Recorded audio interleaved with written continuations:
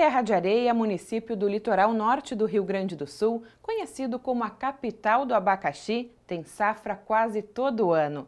Extensionistas da Emater estão desenvolvendo uma técnica que prolonga a safra por até 10 meses, com o chamado escalonamento de produção.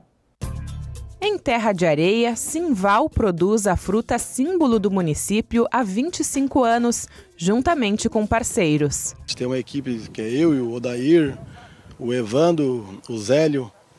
A, a gente tem uma equipe hoje que a gente trabalha em torno de 10 aí, sei lá, mais. Então a gente consegue ter quantidade e tendo qualidade, né?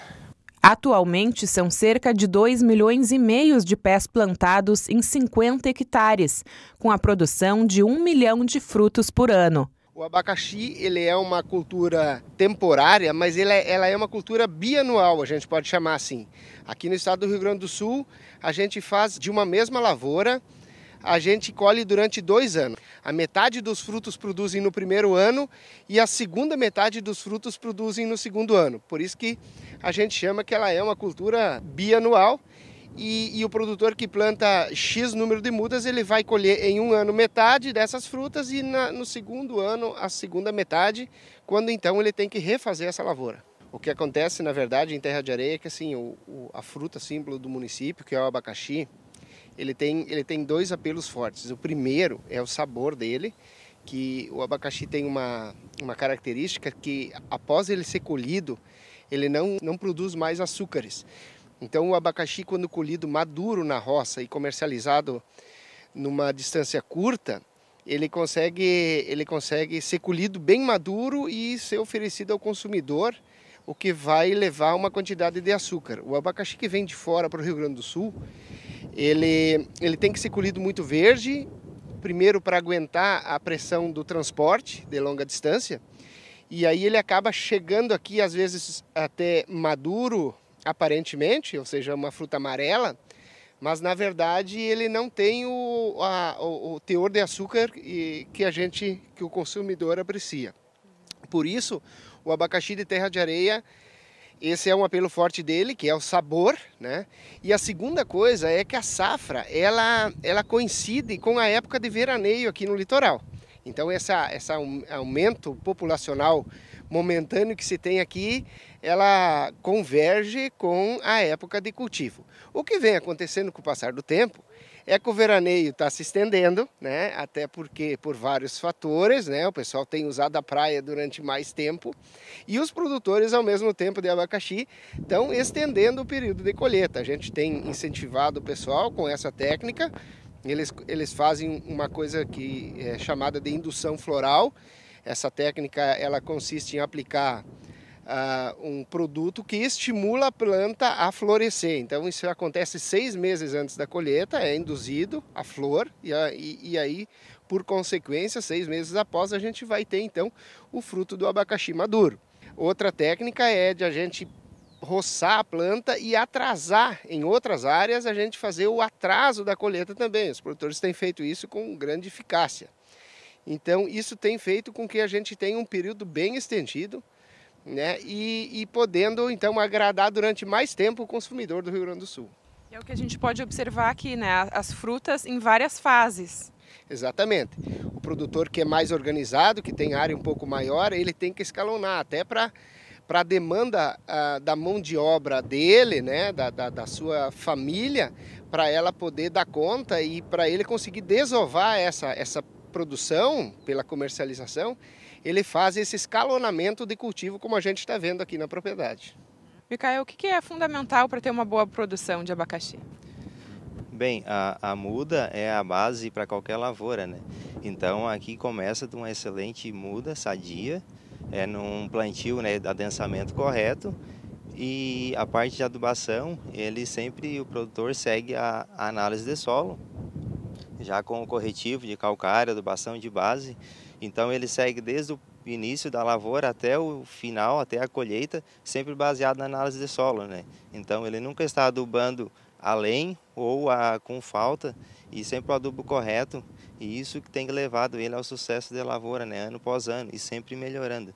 Então tem que a parte técnica estar sempre junto com o manejo do dia a dia. A safra prolongada também é possível na produção orgânica da fruta.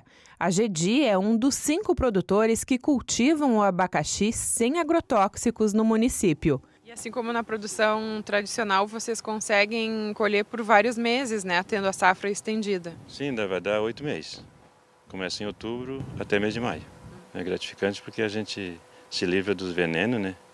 E a gente vende um produto limpo de veneno pro, lá para o consumidor, né? Uhum. Sem veneno, sem adubo químico, sem...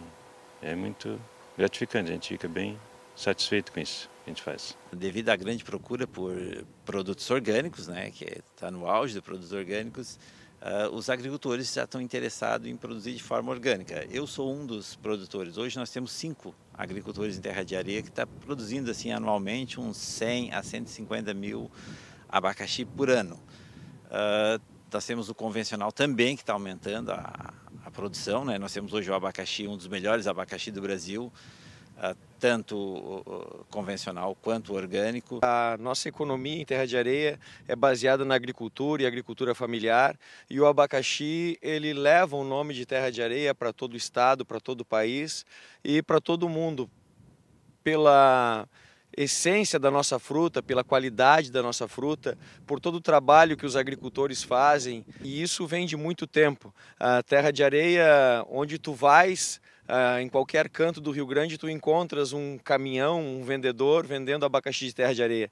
Antigamente o abacaxi produzia somente no verão e hoje, graças aos avanços tecnológicos, ao esforço dos agricultores, nós conseguimos ter um abacaxi de boa qualidade, um abacaxi que que é um exemplo uh, para todo o Rio Grande do Sul e para todo o país. Nós queremos uh, solidificar ainda mais a agricultura, pois, como dizia o poeta, o campo é a mesa do povo. Quando o campo vai mal, evidentemente que a cidade também vai mal.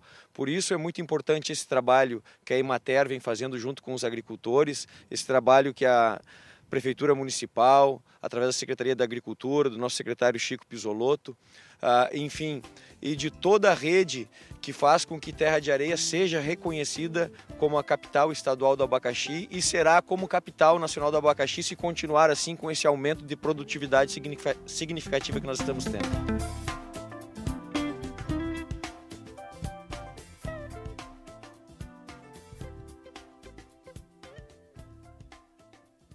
E o município está promovendo a décima Festa Nacional do Abacaxi, de 25 a 28 de janeiro, em Terra de Areia, juntamente com a primeira Feira da Agrobiodiversidade e outros eventos paralelos.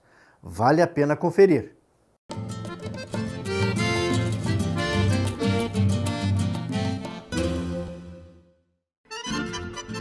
Na Ceasa, esta semana, as maiores altas foram registradas no quilo da vagem, que está custando R$ 5,00, um aumento de 66,67%.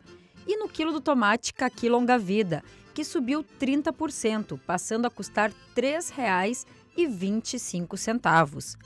As quedas mais significativas foram no quilo da moranga cabotiá, em 20%, que está custando 60 centavos, e no quilo do abacate, que a R$ 4,16 teve redução em 20,76%. E no próximo bloco tem a nossa receita da semana. Ainda na capital do abacaxi, vamos aprender a fazer um rocambole com recheio da fruta. Nós voltamos em seguida.